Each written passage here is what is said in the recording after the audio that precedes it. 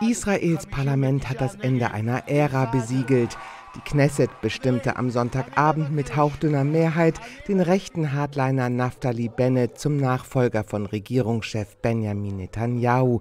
Dieser hatte das Land zwölf Jahre lang ununterbrochen regiert. Bennett will zwei Jahre lang Regierungschef bleiben und das Amt danach an den bisherigen Oppositionsführer Yair Lapid von der liberalen Mittepartei Yesh Atid abgeben.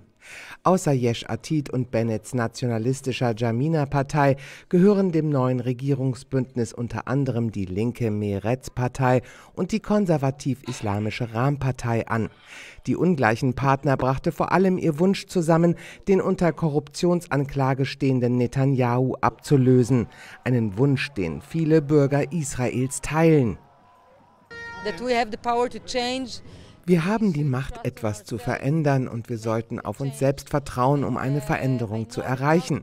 Und ich weiß, dass jetzt die Regierung, die neue Regierung weiß, dass wir unsere Augen auf sie gerichtet haben. Also müssen sie gut sein, gut zu den Menschen, die sie gewählt haben. Politisch trennt die neuen Koalitionspartner vieles.